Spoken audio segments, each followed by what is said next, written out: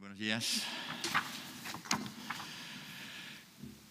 Comparecemos hoy nuevamente para dar cuenta del resultado eh, del acuerdo de las medidas excepcionales eh, del Consejo eh, de Gobierno que ha tenido lugar este, esta mañana 6 de abril. Se trata de implementar nuevas medidas sanitarias preventivas de carácter excepcional para la contención del coronavirus que van a afectar a un total de 21 municipios repartidos en siete provincias de la comunidad.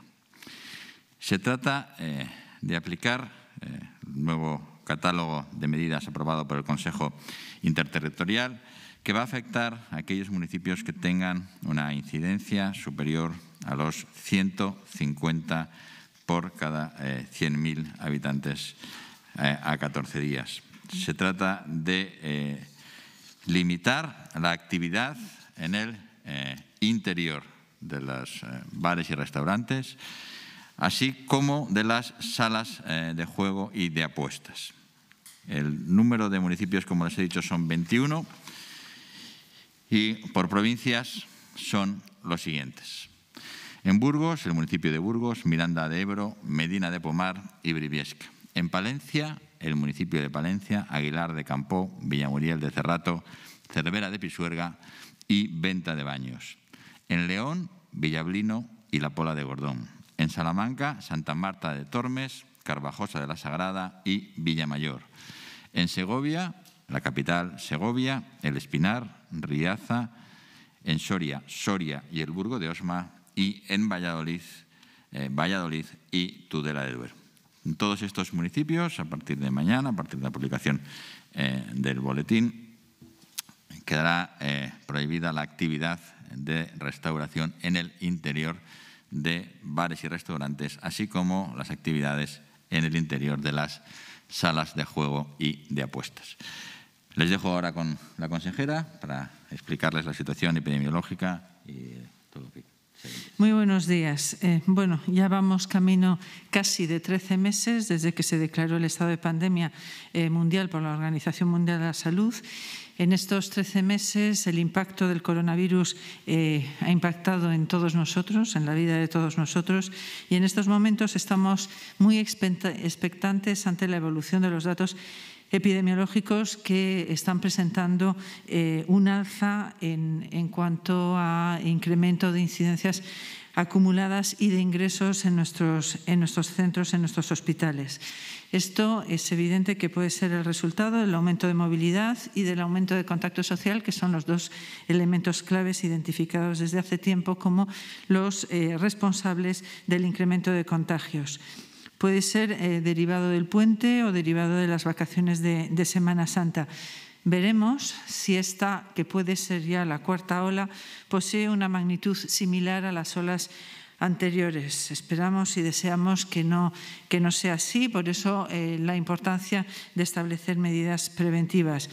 Hoy quiero eh, comenzar mi rueda de prensa agradeciendo, por una parte, a todos los ciudadanos que en estos días han limitado su movilidad y han limitado el contacto social a fin de evitar cualquier tipo de riesgo y contagio. Y, por otro lado, a todos los ciudadanos que están acudiendo de una manera muy importante a nuestro llamamiento para vacunarse durante estos últimos cuatro días. Las vacunas son nuestra mayor esperanza para combatir este virus. Vacunarnos no solamente significa eh, protegernos a nosotros mismos, sino eh, proteger a todo nuestro, a nuestro entorno. Cuantas más personas eh, estén inmunizadas, más probabilidades tenemos de romper las cadenas de transmisión. Solo con las medidas de prevención y de protección ya conocidas más la eh, vacunación, seremos capaces de eh, derrotar esta, esta pandemia. También eh, quiero hacer un llamamiento a todos los ciudadanos para donar sangre. En estos momentos necesitamos sangre de los grupos A positivo, A negativo y cero negativo. Seguimos trabajando en, ciudadanos, en los ciudadanos que tienen patologías no COVID y en personas que tienen accidentes de tráfico y por eso eh, precisamos las transfusiones. Siempre eh, les agradezco esta, esta actividad porque eh, si en algo demostramos una gran solidaridad es cuando damos una parte de nuestra sangre para salvar vidas. Por lo tanto, agradezco la segura eh, solidaridad que vamos a recibir eh, de las personas que eh, tienen estos grupos sanguíneos. Según los últimos datos publicados por el Ministerio de Sanidad el pasado sábado por la tarde, la tendencia general en el país era el crecimiento en tasa de contagios.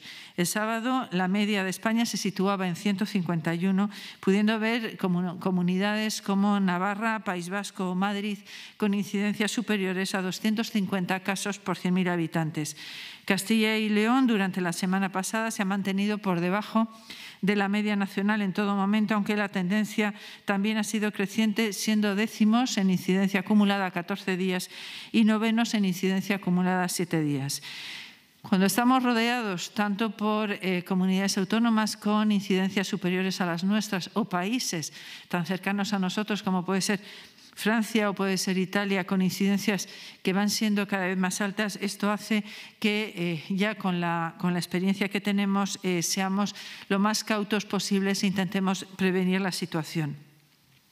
En relación a la incidencia semanal, pues vemos claramente que eh, estamos empezando a subir dentro del propio, del propio valle en el que habíamos llegado con una incidencia eh, que hemos llegado a tener eh, más baja que la, entre la segunda y la tercera ola, pero en estos momentos ya tenemos una tasa de 84,6 por 100.000 habitantes en la incidencia acumulada a siete días.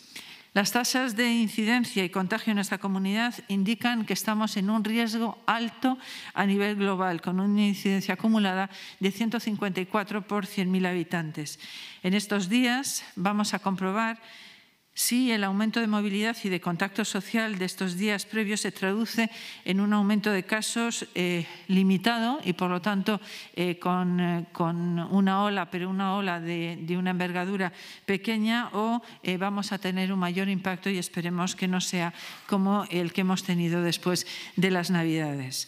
Por provincia, reseñar que Segovia con 337 por 100.000 habitantes, le sigue Burgos con 271, Soria 250, Palencia 227, Valladolid 134, Salamanca 95, León 89, Ávila 69 y Zamora 54. A excepción de León, Soria y Zamora, todos tienen una tendencia creciente. Hoy declaramos 215 casos en las últimas 24 horas. En relación al índice de reproducción del virus, que es un índice eh, que siempre eh, lo, utilizamos como un farolillo de lo que puede suceder eh, después en cuanto, en cuanto a impacto, bueno, pues nos, nos sitúa por encima del de, número uno, del uno que por encima significa que hay más contagios y por debajo del uno significa que estamos controlando y seguimos teniendo por encima de uno, teniendo también en cuenta que durante los días festivos puede haber menos declaraciones y esto puede artefactar el sistema de información. En estos momentos nos situamos en 1,05 con provincias como Burgos, Palencia, Salamanca y Segovia en 1 o por encima de 1. A nivel de municipios volvemos a ver cómo el mapa cambia de colores y comienza otra vez a presentar colores granates podemos observar como ya hay numerosos municipios que se sitúan por encima de los 150 casos por 100.000 habitantes. Estos municipios son los que ha comentado el portavoz, que eh, se incorporan en, en, esta limitación, en estas medidas restrictivas, y estos municipios son Riaza, con 2.503 por 100.000 habitantes, Cervera de Pisuerga con 1.932 por 100.000 habitantes, La Pola de Gordón 1.153, Segovia 516 por 100.000 habitantes, El Espinar 429, Tudela de Duero 382, Burgos 378, Santa María de Tormes 353, Soria 323, Medina de Pomar 313, Miranda de Ebro 310, Villamayor 291, Palencia 250, Aguilar de Campo 207, Burgo de Osma 178, Villablino 177, Villamuriel de Cerrato 170, Briviesca 167, Valladolid 158, Venta de Baños 156 y Carvajosa de la Sagra 151. Estamos monitorizando la situación a diario y tomando medidas en aquellos eh, municipios más afectados para limitar en la medida de lo posible los nuevos contagios. En cuanto a la situación hospitalaria, en los últimos días, tanto en las plantas como en las unidades de críticos, ya estamos empezando a notar un ligero aumento de ocupación derivado del aumento de casos de la semana previa a la Semana Santa. En estos momentos tenemos 470 pacientes COVID ingresados. Estamos con 339 eh, personas ingresadas por COVID en planta y 131 en críticos. Es esencial que limitemos eh, los nuevos contagios para eh, limitar las, eh, otra vez las hospitalizaciones y los ingresos en nuestras UCIs. En las últimas 24 horas han fallecido en nuestros hospitales seis personas. Mandamos nuestro cariño y nuestro apoyo a familiares y amigos de los fallecidos. En estos días hemos continuado vacunando. Es esencial inmunizar a la mayor cantidad de población en el menor tiempo para cortar eh, toda cadena de transmisión posible. Cuando el miércoles la ministra eh, me, comentó que nos podían mandar 51.000 vacunas de AstraZeneca, eh, le dije que por supuesto y que íbamos a hacer todo el esfuerzo para seguir vacunando durante la Semana Santa. Vacunarnos es un hecho, como he dicho antes, que nos protege a nosotros, pero también protege a las personas que están en nuestro entorno. A día de hoy hemos vacunado a 208.352 personas al completo, habiéndose eh, eh, administrado un total de 578.554 dosis. El 8,7% de la población de Castilla y León ya ha recibido las dos dosis, estando el 80% de la población de 90 años o más totalmente inmunizados.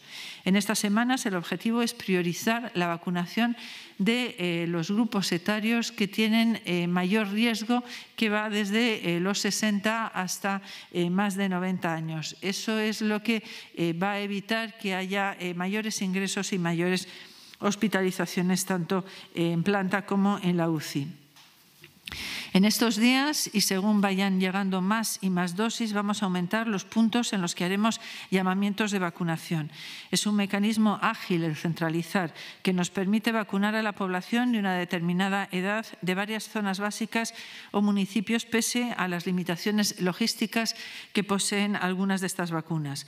Con la llegada de próximas vacunas podremos ir acercando los puntos de vacunación a la residencia de nuestros ciudadanos, pero en estos momentos el modelo de vacunación masiva es el que nos garantiza dar eh, mayor velocidad. Nos gustaría tener aún más vacunas. Desde luego eh, podríamos desencadenar toda la sistemática de vacunación masiva con unas llegadas de más de 150.000 vacunas semanales. Ahora todavía no estamos en estas, en estas cifras, pero si bien es cierto que esperamos para la semana que viene eh, empezar a recibir un volumen de, vacunas ya eh, un poco más importante. Hasta que exista una cantidad de población elevada inmunizada, tenemos que seguir aplicando las medidas de prevención. Además de las medidas universales de prevención de la COVID, como la mascarilla, la distancia social, el lavado de manos, la ventilación, se unen las medidas no sanitarias que se han mantenido durante toda la Semana Santa en todo el país y que con el acuerdo de hoy progresan en varios municipios de nuestra comunidad con la finalidad de evitar nuevos contagios. La actitud preventiva debe ser total en estos días para evitar el crecimiento brusco de, una posible ola. Si eh, hay crecimiento, pero es un crecimiento sostenido, bajito, pues evidentemente podremos contrastarlo. Pero queremos recordar que a mayor número de personas se contagien, mayor número de hospitalizaciones, pero también mayor número de fallecimientos. Por lo tanto, está en la mano de todos nosotros intentar evitar este cambio, este, este ascenso, en tanto cuanto no tengamos eh, la vacunación de más del 70% de la, de la población. La situación epidemiológica, como he dicho, está cambiando. Ya llevamos varios días con un aumento progresivo de casos. En estos momentos estamos en nuestra comunidad en riesgo elevado. Por lo tanto, vuelvo a reiterar la importancia de eh, aplicar las medidas de prevención y protección, más aún en los municipios que comienzan con medidas especiales a partir de mañana no solamente son las medidas no sanitarias las que son importantes, son importantes estas medidas no sanitarias, pero las debemos de acompañar de eh, todo lo que signifique limitar movilidad y eh, disminuir el contacto social y, desde luego, la 6M que tantas veces eh, repetimos. Quiero seguir animando a todos los ciudadanos a vacunarse. Es la mejor herramienta que tenemos para frenar la pandemia. Y, evidentemente, recordar que aquellas personas que tengan dudas sobre la vacunación de eh, COVID-19 pueden llamar al número 900-222-000 si tienen dudas muy generales o en su centro de salud y marcar el cero si es muy específica para que eh, le den respuesta. Quiero también recordar a, todos, a todas las personas que están eh, vacunadas que en la eh, app de SACIL Conecta pueden tener eh, los informes de, de, vacunación junto con otros elementos que son importantes que hemos puesto en marcha, como pueden ser los partes de confirmación de la incapacidad temporal. Recordar las seis M's, medio metro, lavado de manos, mascarilla, máxima ventilación, importante, importantísimo, mínimo contacto social y desde luego me quedo en casa si espero el resultado de una PCR o si tengo síntomas. Muchas gracias. Muchas gracias. Aunque la consejera haya quitado un metro, es metro y medio. metro, metro y medio, por Dios. Y no digo dos metros. Quedamos abiertos a sus preguntas. Gracias a los dos por estas intervenciones iniciales. Vamos a comenzar con el turno de preguntas. Eva Marín, de Cadena Ser, buenos días. Hola, buenos días. Eh, yo quería preguntar por el tema de la vacunación después de la denuncia que ha hecho el Partido Socialista por los desequilibrios. Es verdad que insisten ustedes siempre en que no es lo mismo una provincia que en otra, pero achacan sobre todo las diferencias con Zamora, donde el ritmo es mucho más lento y aseguran que ahí no se ha, no se ha empezado la, vacunación masiva. ¿Tiene que ver el hecho de que los datos que hoy acaba de aportar pongan a Zamora dentro de esa situación de alto riesgo que se está viendo en otras provincias? Y luego, eh, otra, eh, otra relacionada con la vacunación, ¿para cuándo la vacunación para los cuidadores de los dependientes? Muchas gracias. Bueno, a ver, eh, en relación a la vacunación y el desequilibrio, eh, estamos intentando tener eh, un cierto nivel de homogeneidad en toda la, la comunidad, pero es muy cierto que eh, tenemos una comunidad muy, eh, muy diferente, en algunos casos muy dispersa, eh, con, población anciana. Nos pasa en alguna provincia que se critica por no tener punto de vacunación masiva y en otra que hay vacunación masiva el por qué no se lleva a determinados centros de salud. La, la idea es buscar ese equilibrio, es decir, un equilibrio que permita que aquellas personas que se puedan movilizar vayan al punto de vacunación, porque un punto de vacunación nos permite vacunar a 30 personas a la hora y eso le da muchísima agilidad y eso nos permite ir mucho más rápido. Y eh, yo voy a, repetir eh, lo que decía eh, la ministra del Partido Socialista, que decía que aquí lo que tenemos es que ganar tiempo y que el objetivo fundamental es que ganemos tiempo. Por lo tanto, todas estas estrategias de planificación que nos permitan ganar tiempo son las que ponemos, las que ponemos en marcha. Pero eso no quiere decir que no se hagan al mismo tiempo vaya, varias estrategias, desde los equipos de vacunación que se movilizan en, en, determinadas zonas básicas de salud, sobre todo aquellas en las que pueden estar más dispersas o ya población más, más mayor. En relación específicamente a, la, a Zamora, a ver, tenía yo los datos de Zamora. Vamos a ver, se va a hacer una, una vacunación masiva en Zamora en los días 6, 7, 8 y 9 de abril en el Teatro Ramos Carrión de, Zamora, en la entrada lateral. Eh, tienen que acudir los nacidos en el año 1956, residentes en cualquier localidad de la provincia de Zamora y mutualistas empadronados en la provincia de, de Zamora. Quien no debe acudir, esto es en general para todos, son aquellos que hayan pasado la infección por COVID-19 en los últimos seis meses, personas que permanezcan en aislamiento o cuarentena y personas con antecedentes de trasplantes, diálisis, enfermedades oncológicas en tratamiento, inmunodeficiencia primaria o síndrome de Down que serán eh, citados en eh, los hospitales. El cómo se va a hacer va a ser por mes de nacimiento, es decir, el día 6 eh, las personas que hayan nacido en enero irán desde las tres y media a las cinco y media, en febrero de cinco y media a siete y media y los que hayan nacido en el mes de marzo de siete y media a nueve y media. El 7 de abril eh, los que hayan nacido en abril de tres y media a cinco y media, en mayo de cinco y media a siete y media y en junio de siete y media a nueve y media. Los que han nacido el 8 de, digo, perdón, los que vayan a ir el 8 de abril son los que han nacido en julio de 3 y media a 5 y media, en agosto de 5 y media a 7 y media y eh, los que han nacido en septiembre de 7 y media a 9 y media. Y los que están citados el 9 de abril son los que han nacido en los meses de octubre, 3 y media 5 y media, noviembre 5 y media 7 y media y 7 y media a 21 a 30. Esta información estará colgada y además eh, a través del delegado territorial también se eh, dará información y de la propia gerencia. También se va a vacunar en, en, Benavente a los nacidos en 1956 en el Hospital Provincial de Benavente los días 6, 7, 8 y 9 de abril los que deben de acudir, igual que lo que he comentado antes, los nacidos en 1956, y también va eh, por bloques de, meses, es decir, 6 de abril, enero, febrero y marzo en las franjas de 4 y media a 5 y media, 5 y media a 7 y 7 a 8 y media, el 7 de abril los nacidos en abril, mayo y junio, también en esas franjas de edad, digo, en esas franjas de eh, horaria, el 8 de abril eh, los que hayan nacido en julio, agosto y septiembre, también en esas franjas de, horario, y el 9 de abril los que han nacido en octubre, noviembre y diciembre, también en esas franjas eh, horarias. Entonces, en, Zamora, que es una de las ciudades con, y de las provincias con una incidencia acumulada más baja, no, hay, eh, no están más en riesgo ni muchísimo menos. Y eh, en relación a su última pregunta sobre los cuidadores de eh, personas dependientes menores de, edad, porque los cuidadores de personas dependientes mayores de edad están ya eh, vacunados, eh, no ha sido aceptado por la ponencia de, por la Comisión de Salud Pública y en principio, bueno, nosotros yo personalmente reiteré el, el tema, pero bueno, también es verdad que lo que esperamos es tener muchas vacunas y por franjas etarias poder vacunar a todo el mundo lo antes posible. No sé si en la próxima revisión eh, volverá o habrá posibilidad de que, se, de que se incrementen.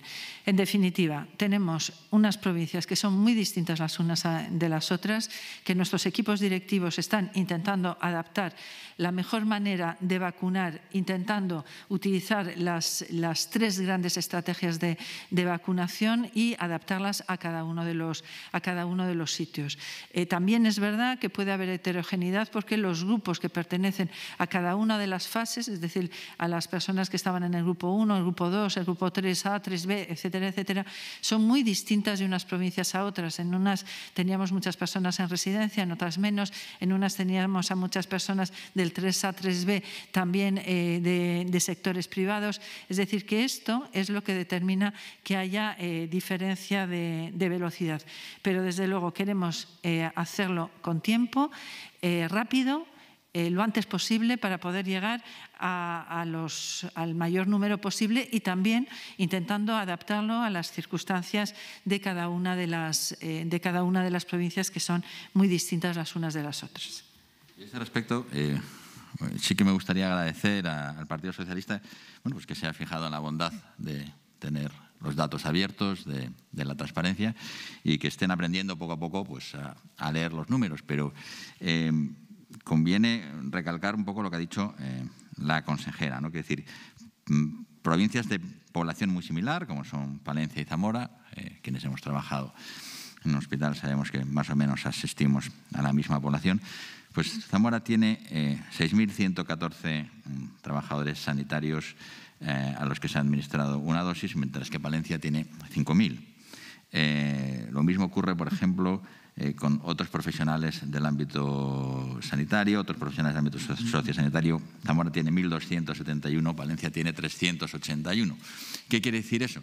Que hay que mirar el conjunto de dosis y la población. Por eso publicamos todos los datos, por eso publicamos los datos por categorías, por edades, por provincias.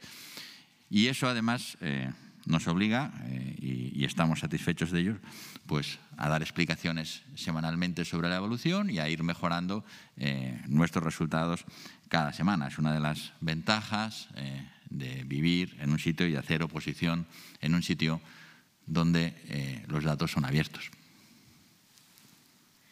Damos la palabra a continuación a Javier Luna de la cadena COPE. Javier, adelante.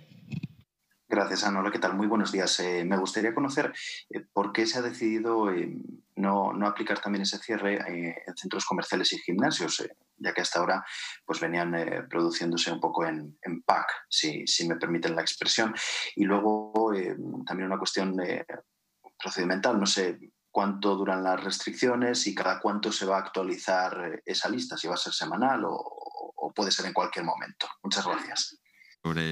Sobre este asunto, eh, los centros comerciales no se han modificado en el eh, acuerdo del interterritorial, por tanto seguimos manteniendo las mismas medidas que manteníamos en los mismos niveles de alarma, no hay cambio ninguno. Y sobre el asunto de los gimnasios, en el que sí se había producido este cambio, eh, después de debatirlo y de revisar las evidencias, es verdad que hay un sitio con un riesgo eh, probablemente de transmisión, pero que en el que también hay una población que tiene menos riesgo, la población que hace deporte, la población joven, tiene menos riesgo de ser enfermedades, de padecer una enfermedad severa. Esa es un poco la razón de haber mantenido en este caso, eh, el mismo eh, semáforo a lo que respecta a los gimnasios que manteníamos, es decir, mantendremos las mismas medidas en el mismo nivel. Y eh, por eso nos hemos limitado a la hostelería y a las salas de apuestas. Los centros comerciales, insisto, nadie ha, planteado el cambio y centros comerciales y gimnasios en esta comunidad tendrán medidas restrictivas exactamente igual que las tenían eh, con anterioridad. ¿Sobre cuánto va a durar? Ya lo hemos dicho, 14 días mínimo. ¿eh? ¿Sobre cuándo se revisan? Cada semana, los lunes. Hay, en relación a lo que comenta el vicepresidente, eh, empieza a haber ya evidencia científica y hay un estudio hecho aquí en España en relación a la influencia de la actividad física y la mortalidad por COVID. Entonces, eh, se está viendo en un estudio retrospectivo que aquellas personas que eh, ingresaron en los hospitales había una diferente evolución entre los que hacían ejercicio, fuera donde fuera, frente a los que no hacían ejercicio. Por lo tanto, eh, esto nos, nos hace pensar que hay que eh, ser muy, muy exigentes con los aforos, muy exigentes con las medidas de protección dentro de, los gimnasios, pero el ejercicio físico Evidentemente nosotros recomendamos que mientras se pueda se haga al aire libre y ahora el tiempo nos acompaña, pero el ejercicio físico parece ser un elemento clave en la evolución eh, de la enfermedad por coronavirus. Desde Castilla y León Televisión nos sigue esta mañana Sandra Basallo, así que adelante, Sandra.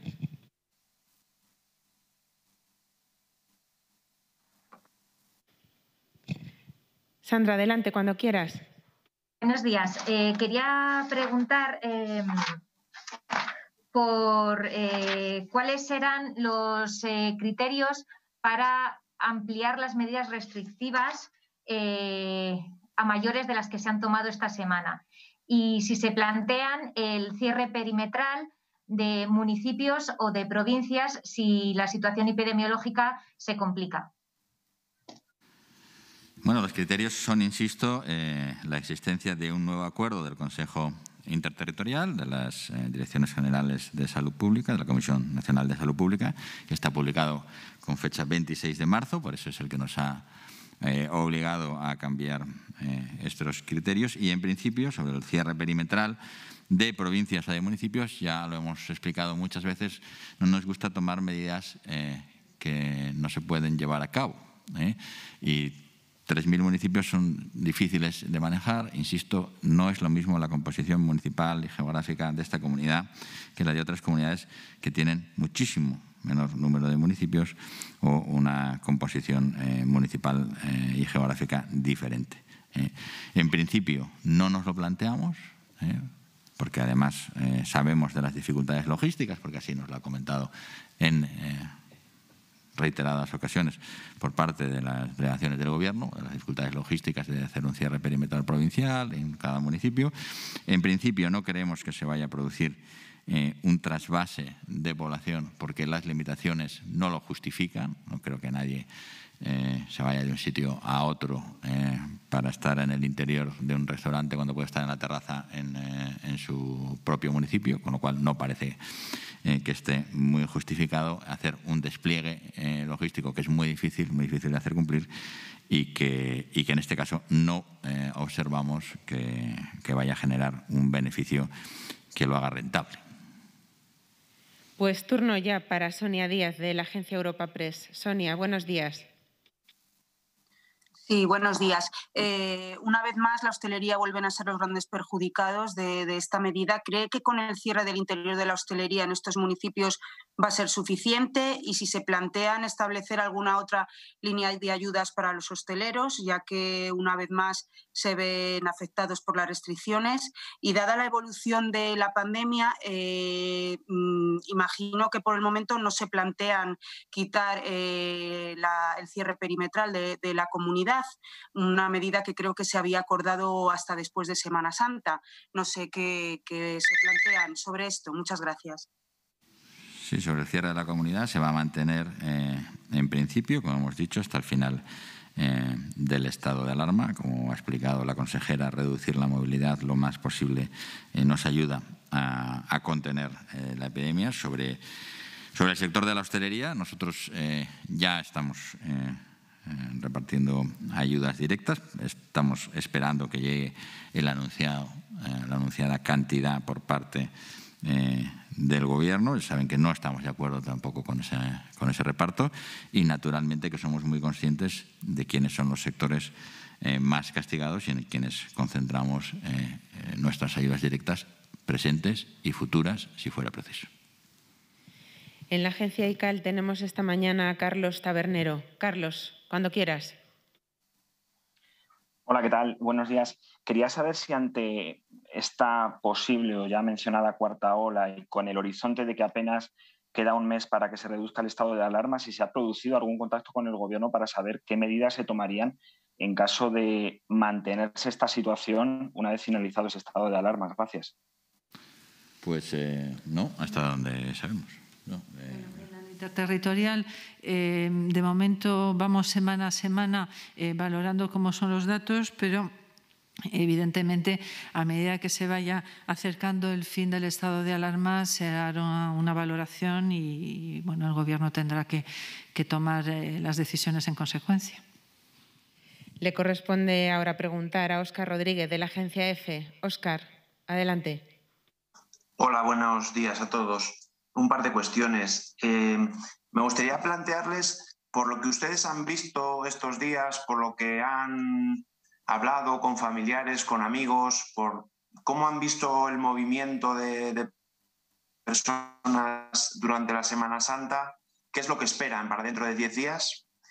Eh, la evolución de, la pandemia, si, creen que va a tener una incidencia fuerte o, va, a quedar limitada. Y, sobre las vacunas, me gustaría saber si la consejera nos puede decir, porque llevan semanas diciendo que el Ministerio les, les eh, había ofrecido una planificación para tener una planificación más cierta sobre la recepción de vacunas. Estamos ya en abril, que era el mes clave, por lo que han venido diciendo. No sé qué pueden esperar los ciudadanos de este mes en concreto si tienen algún objetivo de, vacunación, algún porcentaje que nos puedan avanzar para, para lanzar un poco de ánimo sobre la gente que está esperando la vacuna. Gracias.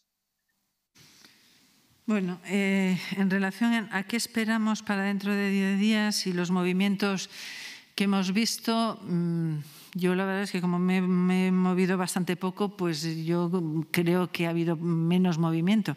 Es algo que, que yo espero que sea, que sea así. Lo que sí que es verdad es que yo creo que eh, hay mucha gente concienciada y mucha gente que lo, ha hecho, que lo ha hecho bien, que por supuesto habrá un porcentaje de personas que eh, no atienden a estas, a estas razones. Esperamos que esta, esta ola eh, no sea como la, tercera ola y en todo caso deseamos que sea como mucho como la, segunda, incluso más contenida que, que, la segunda. Pero bueno, veremos los datos. Sí que es verdad que ya eh, en estos municipios en los que hemos tomado las medidas es porque ya las cifras nos preocupan enormemente. Entonces, eh, bueno, esperamos que creemos que podemos ir pensando que no tiene que ser tan tan agresiva esta, esta ola.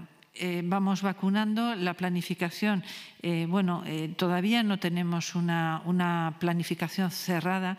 Sí que es verdad el mes de abril es un mes, yo creo que va a ser un mes de esperanza. Vamos a, recibir muchas más vacunas de, Pfizer. Pfizer ya ha hecho em, un adelanto de lo, que, de lo que nos van a mandar y lo cierto es que cumple. Pfizer eh, suele, cuando dice que manda, eh, suele, suele cumplir. En el tema de Moderna, hemos hecho reservas de dosis porque eh, no tenemos previsión de que nos vayan a, llegar y AstraZeneca pues nos van eh, dando eh, bueno, las, las cifras que, que, ya conocemos todos, pero también esperamos que Janssen en esta segunda quincena del mes de abril se ponga ya en circulación, con lo cual yo creo que abril puede ser un mes de mucha esperanza en cuanto a que vamos a tener más vacunas y que vamos a poder acelerar el proceso crecimiento esperado, nosotros tenemos que manejar las, lo que sabemos, los números que tenemos y la comparativa con, con, Europa. Y lo que tenemos ahora es que el número reproductor del virus en la comunidad, como hemos visto y se puede ver en la página eh, día a día, ha crecido, no ha crecido como creció en Navidades, la pendiente de crecimiento es una pendiente mucho menor. ¿eh? Que esto se corresponde también con el crecimiento del número de ingresos hospitalarios en estos últimos días, que crecen, pero no crecen con la pendiente con la que crecieron en enero. Parece que ha habido una movilidad menor eh, de la eh, movilidad vacacional en Navidades, tanto por la ocupación de hoteles como por el número de restricciones y por el control. Creemos que también la gente ha aprendido eh, lo importante que es estar en el exterior, evitar los interiores, mantener la distancia. Eh, pero aún así, eh, eh, nuestra preocupación es una preocupación grande. Sabemos que cada semana que ganamos bajamos mortalidad porque estamos vacunando a nuestra población de mayor riesgo, con lo cual, aunque crezca la incidencia, esperamos que no crezca la mortalidad como creció en la última ola, pero también hay algunas variables que hay que considerar, que son Sabemos que el porcentaje de cepa británica es muy alto, que esta es una cepa de mayor transmisibilidad y de mayor letalidad, como hemos visto en el conjunto de Europa. Lo que hemos visto en el conjunto de Europa es muy preocupante, lo que ha ocurrido en Francia, lo que ha ocurrido en, Italia. Y, bueno, somos, creemos que vamos a tener un crecimiento, ¿eh? tenemos unos datos sobre los cuales basamos nuestra argumentación pero es verdad que ni podemos bajar la guardia ni dar un mensaje que sería un mensaje erróneo eh, de ausencia de preocupación. Estamos muy preocupados, muy preocupados. Eh. Eh, le pedimos a la población que siga cumpliendo con las medidas, que nos queda muy poco, muy poco, nos queda prácticamente nada, estamos en la recta final, nos queda dos meses para estar en una situación, tres meses muchísimo mejor. uno de los médicos que comenta habitualmente esto en medios, en redes, decía una estrategia de mantener a los mayores de 60 durante dos meses eh, a ser posible aislados. Solo nos queda eso para poder vacunarles, eso es nuestra mayor preocupación y le pedimos por favor a toda nuestra población que cuando ya estamos eh, tan cerca eh, evitemos cometer errores, errores que pueden ser fatales. Así que nos queda muy poco, hay que aguantar un poco más y esto va a pasar más pronto de lo que parece.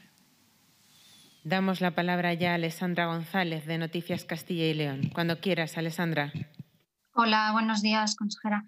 Mira, le queríamos preguntar eh, qué medidas adicionales se barajan para esos municipios que comentaba usted que tienen casi 2.000 de incidencia acumulada, como Riaza y Cervera, creo que es. Eh, ¿No se va a ser suficiente el cierre del interior de la hostelería para revertir esta situación?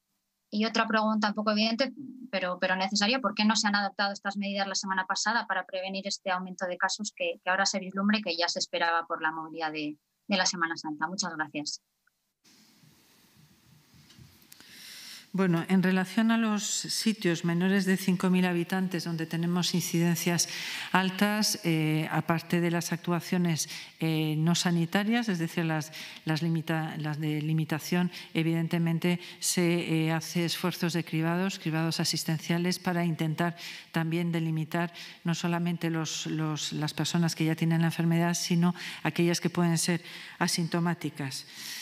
¿El por qué no se han tomado las decisiones antes? Pues los datos que tenemos son los de, los de ahora. Es difícil tomar decisiones porque hay que conjugar eh, muchas, muchas eh, cosas y, dentro de, de las, los elementos que se tienen en cuenta es que haya cierto nivel de, de, incidencia para tomar las decisiones. Pero esto seguramente lo quiere comentar.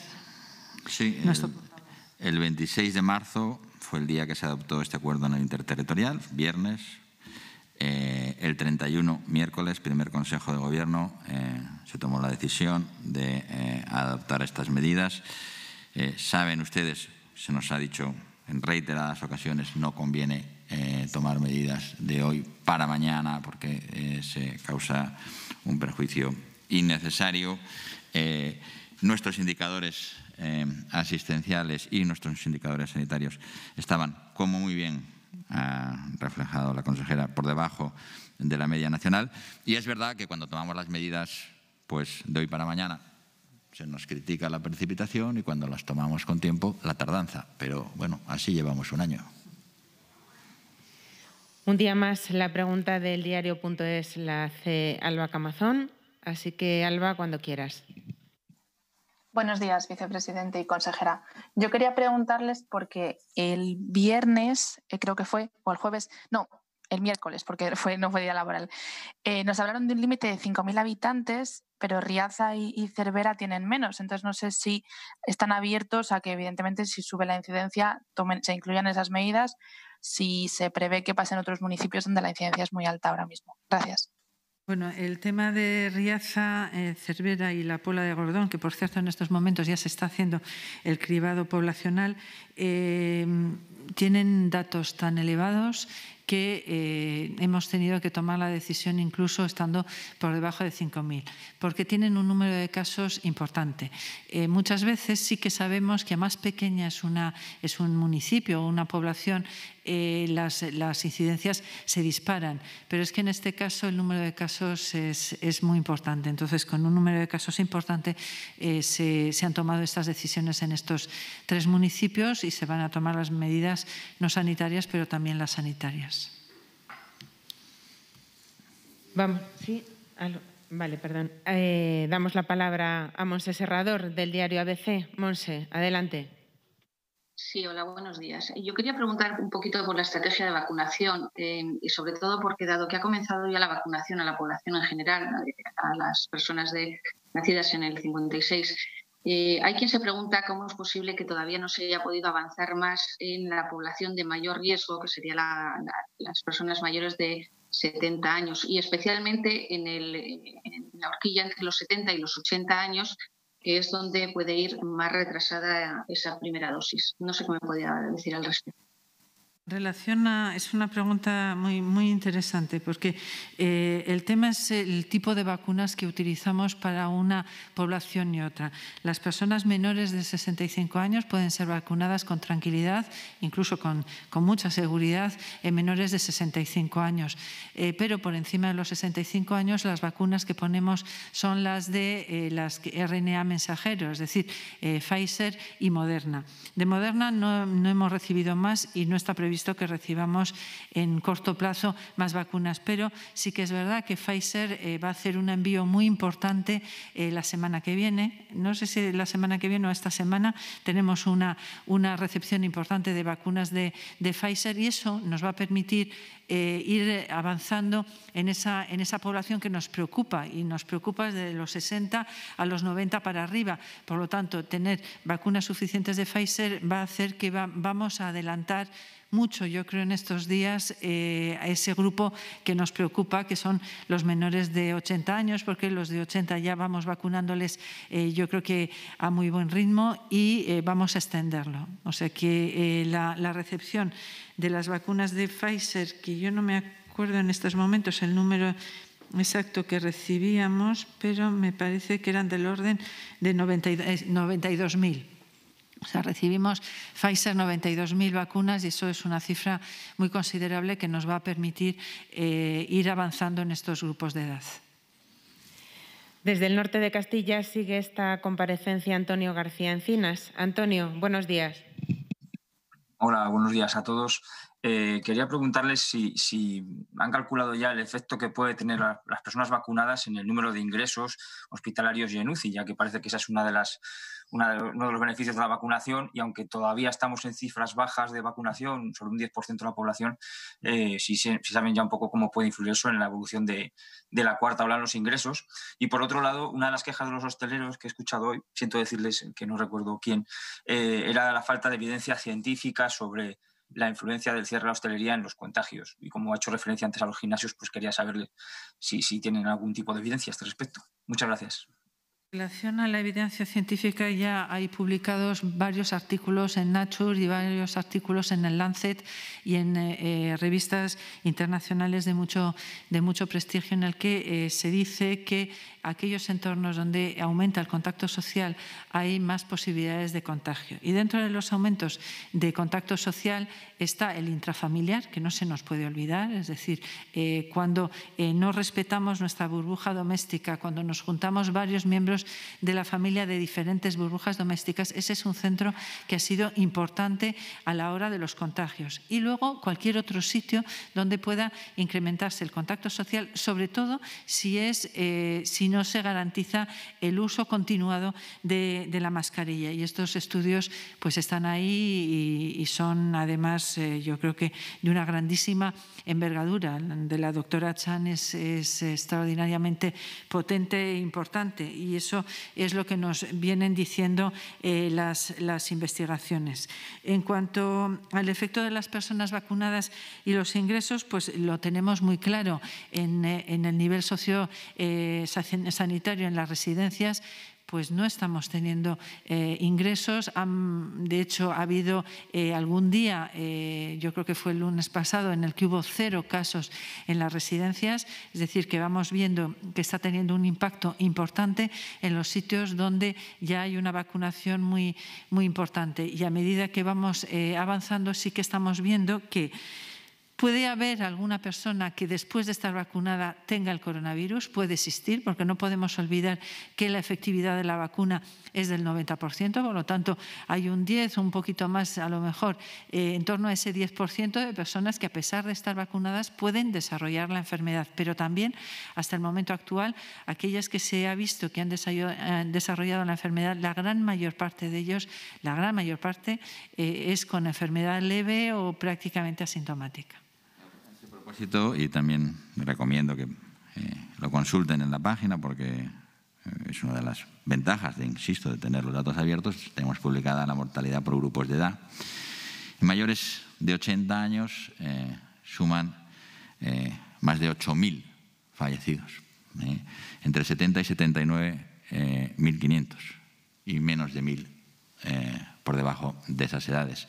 ¿Cuál es el impacto de vacunar a los mayores de 80 si conseguimos una reducción de la mortalidad esperada por encima del noventa y tantos por ciento? Pues es eliminar la inmensa mayoría de la mortalidad. Por eso eh, hemos planteado esta estrategia. ¿eh? La mortalidad eh, en este grupo de edad eh, supera eh, el 30-40%, dependiendo de hombres y mujeres. En los 80 está entre el 9 y el 4%, entre 70 y 79, y luego por cifras muy inferiores al 5% a partir de 60, 3,4 y 1,1, y ya por debajo del 1 en el resto de grupos de edad. Por tanto, esperamos que, y esperamos razonablemente eh, que el hecho de haber vacunado eh, a más de la mitad eh, de la población de mayores de 80 con al menos una dosis y a prácticamente el noventa y tantos por ciento de los mayores de 90 nos permita una reducción de la mortalidad muy importante en el caso de tener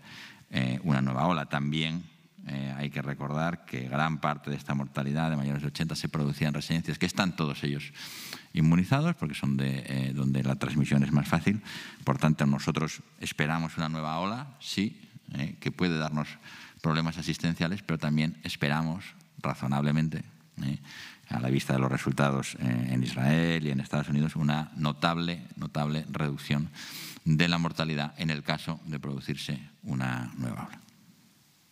Nos acercamos ya al diario de Ávila. Allí está Eduardo Canta la Piedra. Hola, Eduardo. Hola, buenos días. Mire, quería preguntarles, eh, en las últimas semanas la provincia de Ávila eh, se ha mantenido con uno de los niveles de incidencia más bajos de, la región. De cara a la Semana Santa se decidió mantener a toda la región eh, en nivel 4 de, de alerta. No sé si, la evolución, eh, aunque ahora está habiendo repuntes, pero la evolución a, futuro siguiese por esa línea manteniendo una incidencia baja en la provincia de Ávila, si se ha planteado la posibilidad de, pues de incluso de bajar el, nivel de, alerta en esta provincia. Muchas gracias. Bueno, los niveles de alerta eh, tenemos que eh, seguir el semáforo. Seguir el semáforo significa que eh, durante 14 días una provincia se tiene que mantener en los niveles más bajos.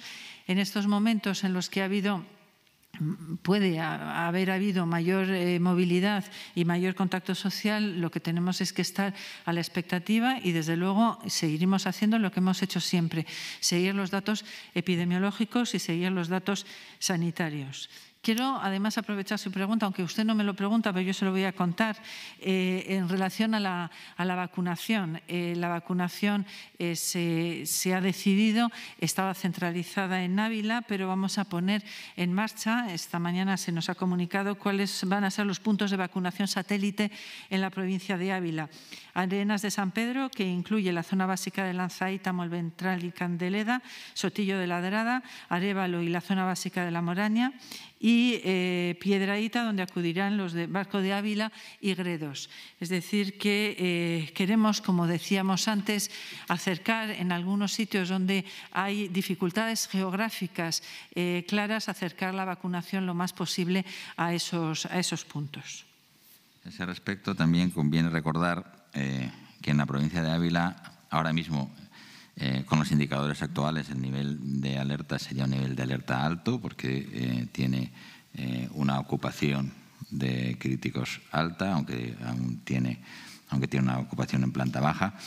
Y sobre todo que el crecimiento, aunque los indicadores de incidencia son moderados, el crecimiento está superando con mucho el 50%. tiene una tasa de incidencia acumulada a 7 días de 47 y de 69 a 14. Eso quiere decir que está eh, creciendo a un ritmo muy importante. Por tanto, nuestra recomendación, también en Ávila, como en todos los sitios, es extremar las medidas de precaución. Desde ILEON pregunta ya Carlos Domínguez. Carlos, buenos días. Hola, muy buenos días. Em, tenía algunas eh, preguntas al hilo, sobre todo de lo que se ha ido argumentando en la propia rueda de prensa. Por un lado, y por concretar, no sé si hay puntos también de vacunación satélite en la provincia de León que nos pudiera concretar, porque se ha producido la primera vacunación con AstraZeneca a los de 65 años este fin de semana, con más de 4.000 dosis se han puesto, pero había poblaciones a más de dos horas de distancia de ida y otros tantas de vuelta que, lógicamente, en muchos casos no han acudido eh, esos vecinos. Y por otro lado, respecto también a las diferencias de vacunación de las diferentes provincias, eh, vicepresidente ha argumentado la elevadísima mortalidad que se produce con los mayores de 80 años, como ya conocemos, y también ha hablado de la defensa de poner en, relación para el reparto de las vacunas no solo el número de dosis, sino también la población. Y en ese caso, la provincia de León, que tiene el récord en población mayor, vamos, con enorme diferencia, 47.000, tiene unos bajísimos porcentajes ahora mismo de personas totalmente inmunizadas o al menos con una dosis.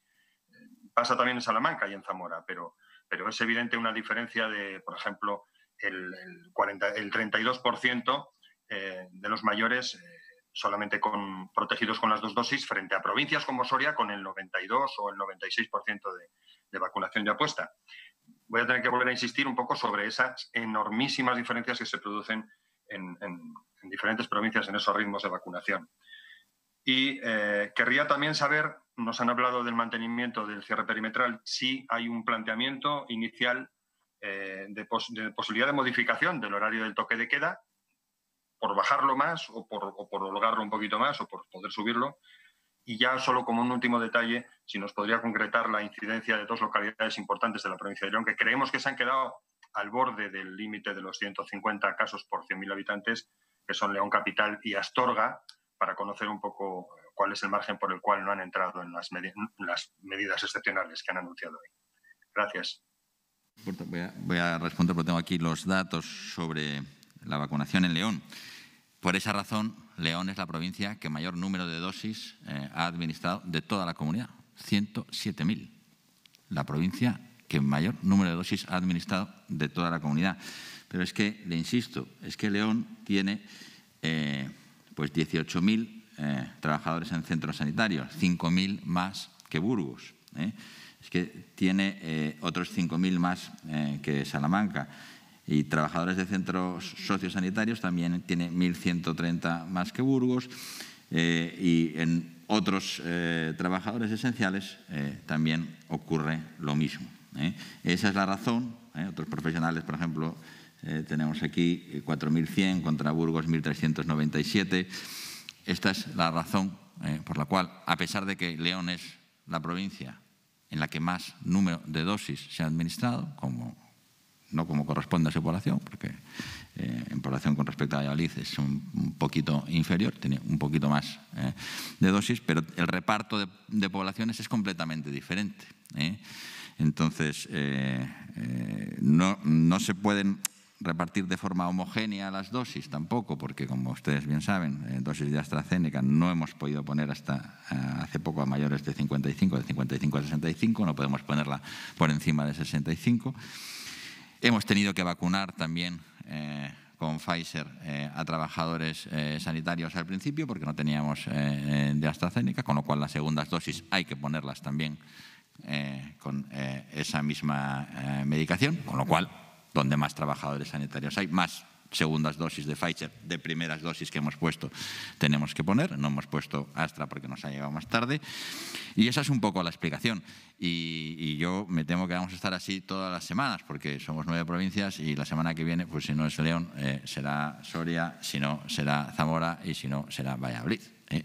Pero esa es la ventaja que tiene eh, tener los datos y yo creo que es una buena cosa hacer estas preguntas, quiere decir que los datos se miran. Ahora vamos a, intentar explicarlos, ¿no? pero, pero yo creo que es una gran ventaja tener los datos abiertos para que todo el mundo pueda ver cuántos trabajadores sanitarios tiene cada uno, cuánta eh, población esencial. Y, yo creo que este esfuerzo que estamos haciendo, eh, aunque es verdad que nos va a acarrear estas ruedas de prensa cada semana, eh, pero creo que es bueno porque la gente verá a lo largo de cómo van evolucionando las semanas, cómo cada vez será una provincia la que esté en esa situación. En relación a las eh, preguntas concretas que hacía sobre si va a haber puntos de vacunación satélite en León, está previsto que si es necesario se ponga en Astorga, La Bañeza y Ribera de Órbigo. También decir que eh, León va a recibir 14.000 dosis de Pfizer esta semana, con lo cual esto también va a ayudar a equilibrar este tema siendo eh, la, realidad tal y como la comenta nuestro portavoz. Es decir, eh, no se puede buscar homogeneidad en un territorio que no es homogéneo. No podemos, además, retrasar las vacunaciones por ir todos al mismo tiempo. Por lo tanto, tenemos que ir de la mano de las diferentes realidades. En cuanto a la incidencia acumulada en León, era 133 y en Astorga 130. Esperemos que no lleguen a, 150. Ese es el deseo que tenemos. Y en cuanto a la pregunta que hace del toque de queda, eh, no es algo que se haya planteado en el, Consejo Interterritorial, pero sí nos consta que hay comunidades autónomas que eh, tienen su toque de queda a las 11 y están planteando reducirlo a las 10 de la noche. En la Gaceta de Salamanca está siguiendo esta rueda de prensa hoy Javier Hernández. Cuando quieras, Javier. Hola, buenos días. Bueno, pues como yo creo que ahora lo que preocupa a todo el mundo es el cuándo me toca a mí, em, con estas noventa y pico mil dosis de Pfizer que ya llegan desde esta semana, en la hoja de ruta de la Junta, mm, no sé cuántas semanas puede tardar en, empezar, en que todas las provincias de Castilla y León ya estén empezando a vacunar a los mayores de 70 años. Muchas gracias. Bueno, eh, si seguimos recibiendo las dosis eh, tal y como está previsto para, para Pfizer, Pfizer, yo creo que no, no vamos a tardar mucho, pero a mí me, cuesta mucho hacer pronósticos porque ya llevo con esta pandemia muchas decepciones. Eh, cuando creo que voy a recibir Moderna no la recibimos, cuando AstraZeneca nos promete nos llega a la mitad. Entonces, bueno, hacer, establecer ahora mismo una hoja de, ruta concreta, vamos a, a esperar, vamos a ver si mantiene este ritmo Pfizer y si eso es así, se podrá hacer un pronóstico, yo creo que no tardando mucho, de eh, cuándo podemos tener a toda nuestra eh, población de mayor de 65 años, que es la que se va a poner con esta, con esta vacuna vacunada y esperamos que sea en breve. Si es así, pues eh, daremos todo el ritmo posible para intentar eh, dar respuesta a esto y esto es lo que queremos, que la, la población de más de 60 años eh, esté vacunada por su mayor vulnerabilidad. Le corresponde ya intervenir a Sergio García de Soria Noticias. Sergio. Muy buenas, pues a mí me toca el, turno de Soria, aunque lo voy a hacer en palabras del alcalde que ha preguntado esta mañana en una rueda de prensa porque si Soria era la provincia que peor estaba, no había eh, vacunaciones masivas en, Soria, aunque somos la provincia con, diferencia con mayor número de, personas inmunizadas. Y por otro lado, me gustaría preguntarle al, vicepresidente IGEA ese cálculo que hace de que en dos meses eh, he entendido ¿no? que estará toda la población de mayor riesgo inmunizada. ¿Cómo se traducirá en la vuelta a la normalidad? Es decir, ¿podemos esperar que cuando en dos meses ya tengamos a los mayores, a los dependientes inmunizados, las medidas se relajen drásticamente, por decirlo de alguna manera? ¿O, bueno, qué previsión hay en esa vuelta a la vieja normalidad? Esperemos. Bueno, yo antes de, nada decir que la provincia de Soria es la que mejor tasa de vacunación tiene. Tiene un 89% de, eh, de, vacunas inoculadas. Soria tiene una población muy dispersa y la estrategia que el equipo directivo ha decidido hacer eh, ha sido más eh, apoyada sobre la atención primaria y los equipos de, de vacunación. Pero yo es que hay cosas que no entiendo. Si hacemos vacunación masiva, porque hacemos vacunación masiva, y si hacemos eh, y si no, mm, no lo entiendo. O sea, yo creo que deberíamos de tener todos en la cabeza que es verdad que tenemos que dar mayor prisa, pero en Soria lo están haciendo muy bien, están consiguiendo una tasa de vacunación muy importante y no precisan el, hacer una, una, vacunación masiva por las características de dispersión poblacional. Entonces, eh, a mí me extraña tener eh, la crítica y la contraria en un, en un mismo momento. O sea, nosotros vamos a hacer todas las estrategias, tanto la de equipos de eh, satélites, equipos itinerantes, equipos de de atención primaria, vacunación masiva, porque el objetivo que tenemos es hacerlo lo más rápido posible y lo más pronto posible. La verdad es que deberíamos de ponernos de acuerdo. Eh, es decir, que deberían de ponerse de acuerdo. Eh, si quieren centros de vacunación masiva, centros de salud, en el Partido Socialista deberían de ponerse de acuerdo entre ellos algún día. Eh. Pero yo creo que deberíamos también alguna vez, alguna vez, yo eh, no, estaría de más reconocer las cosas cuando se hacen bien. No pasa nada. A veces hacemos las cosas bien. Algunas veces. ¿eh? no, puede ser que siempre se haga mal. Cuando estás en una comunidad que su ritmo de vacunación dentro de las comunidades autónomas es la primera o la segunda, pues sí, hay que reconocerlo. Cuando estás en una provincia que tienes el mayor ritmo de vacunación de todo Castilla y León, pues no está más. yo no digo dar las gracias, digo simplemente reconocer eh, que las cosas están yendo bien. A veces las cosas se hacen bien. ¿eh? A veces las cosas se hacen bien. Sobre eh, cuánto va a repercutir esta, esta tasa de vacunación en la población de mayor riesgo dentro de dos meses, no lo sabemos. No lo sabemos. Nosotros de momento vamos a, permanecer utilizando los mismos indicadores, el mismo calendario de medidas, el mismo semáforo de medidas.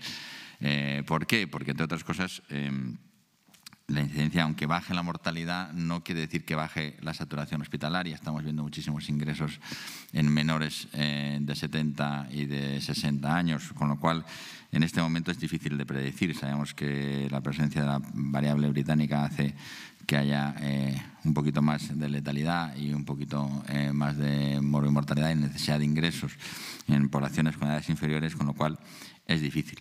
Nosotros sí que esperamos que esto nos permita eh, reducir mucho eh, la mortalidad y que nos permita también reducir la saturación hospitalaria. Ya saben que ahora mismo nuestra mayor preocupación básicamente es mantener la actividad hospitalaria eh, y atender a toda la patología no COVID que tenemos que seguir atendiendo. Pues vamos a cerrar el turno de preguntas de hoy con la opinión de Zamora, donde está Manuel Herrera. Cuando quieras, Manuel, adelante. Hola, buenos días. Yo les quería preguntar, eh, de nuevo por el tema de la vacunación, ¿no? porque decía el vicepresidente que hay que fijarse también en el total de dosis administradas. Zamora es la penúltima de, toda la comunidad autónoma. Además, eh, se anunció un poco el viernes todo el procedimiento que se iba a utilizar en otras provincias para hacer la vacunación masiva. Aquí se ha retrasado hasta hoy. Eh, no sé si están encontrando mm, excesivos problemas en la provincia porque han tardado tanto en, escoger el lugar donde se iba a hacer esa vacunación masiva. Y, bueno, que también incluso hay algunos profesores de, de ciertos centros de la capital que, tampoco han sido citados para, la vacuna. Y por otra parte, les quería preguntar si aparte de Zamora o Benavente en algún momento se pensará también en otro, en otro lugar para hacer vacunaciones.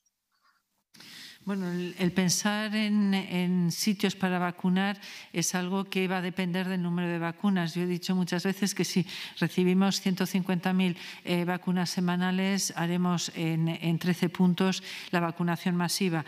Em, en Zamora consideramos que con los dos puntos que tenemos ahora, que son Zamora y Benavente, eh, vamos a, dar respuesta a los nacidos en, 1956. Eh, yo creo que el, retraso que ha podido tener eh, Zamora o este, o este decalaje ha sido también porque están poniendo muchas segundas dosis de, Pfizer que tenían la, la primera puesta y en principio yo creo que a partir de ahora esto se va a homogenizar con todas seguridad en esta, en esta semana.